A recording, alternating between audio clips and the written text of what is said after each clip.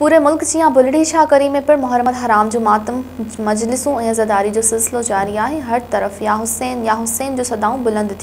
हर गली, हर चौक ते हज़रत अली असकर की याद में सबीलूं लगल